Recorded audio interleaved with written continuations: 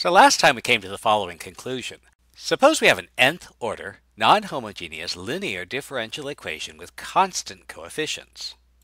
If the general solution to the homogeneous equation is going to be given by some linear combination of functions, then a solution to the non-homogeneous equation can be given by assuming each of these constants is actually some function of t, where the derivatives of these parameters satisfy the system of equations, where the coefficients will be the successive derivatives of the functions that solve the homogeneous equation, and all of these equations except for the last one are set equal to 0, with the last one equal to the non-homogeneous component. So for example, let's try and solve this differential equation. So first, we'll solve the homogeneous system. So we'll make the terms in our equation that do not contain y or its derivative equal to 0.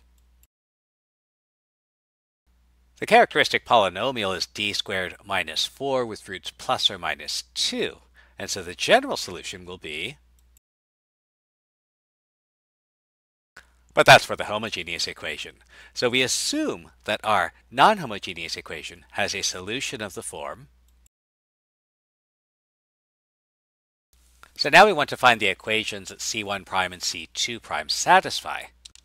So we can get those equations by taking our general solution and differentiating the functions that come from the homogeneous case, e to the 2t and e to the minus 2t. So our first equation, c1 prime e to the 2t plus c2 prime e to the minus 2t equal to 0.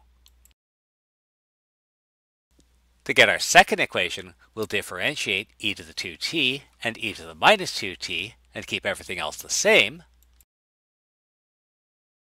But since this is our second and last equation, this will be equal to the non-homogeneous portion of our differential equation.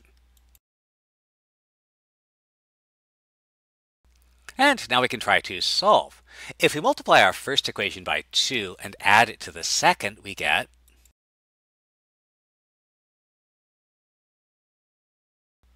which tells us that c1 prime is 1 quarter e to minus 2 cosine t.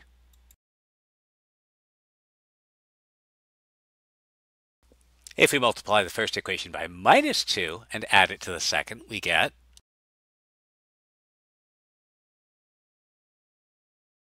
which tells us that c2 prime is minus a quarter e to power 2t cosine t. Well, those are the derivatives, c1 prime and c2 prime. We actually need to find c1 and c2, so we'll find the antiderivatives. And unfortunately, finding this antiderivative is a long and painful process. But we do find them eventually. And don't forget that constant of antidifferentiation. And so our general solution, C1t, that's this mess, times e to power 2t, plus C2t, that's this mess, times e to power minus 2t.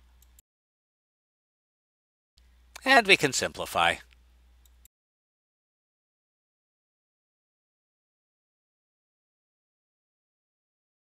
Let's set up a more complicated equation. Let's go ahead and leave our solutions in integral form. So first, our homogeneous equation is obtained by letting the non-y terms be equal to 0. Our characteristic polynomial, d3 plus 2d squared minus d minus 2, and the roots are plus or minus 1 and minus 2, so the general solution to the homogeneous equation will have the form which is to say a linear combination of the functions e to the t, e to the minus t, and e to the minus 2t.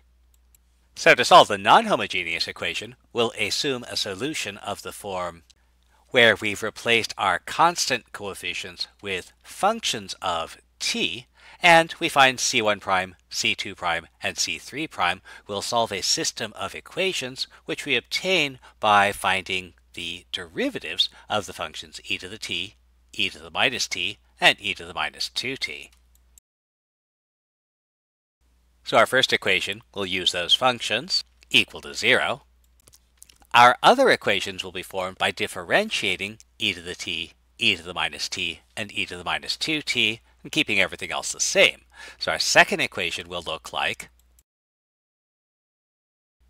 still equal to 0, and our third equation will look like and since this is the third and last equation in this third order differential equation, this last equation will be equal to the non-homogeneous term tangent t. And now we do some algebra. If we subtract the first equation from the second and the third, we get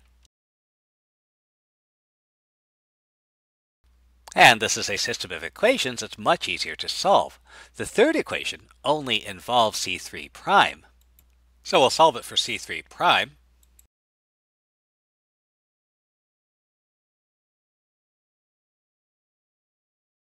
Let's multiply the second equation by minus 1 to clear out the negative signs, and we'll solve this for C2 prime using our value for C3 prime that we just found.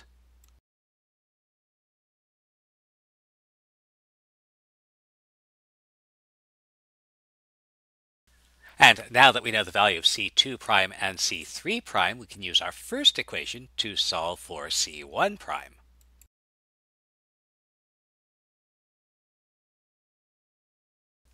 And these are the values of C1 prime, C2 prime, and C3 prime, so we can find C1, C2, and C3 by antidifferentiation. And we'll leave our solutions in integral form because we can.